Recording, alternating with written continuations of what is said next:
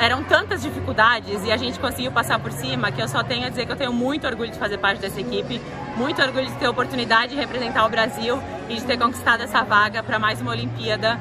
É, depois de quanto foi dura essa semana, é, dedicar essa vitória para Val, eu acho que ela que vestiu essa camisa com tanto orgulho e representou tão bem esse país. Então foi um momento difícil de superar, mas a gente jogou hoje por ela também. Então essa vitória significa muito.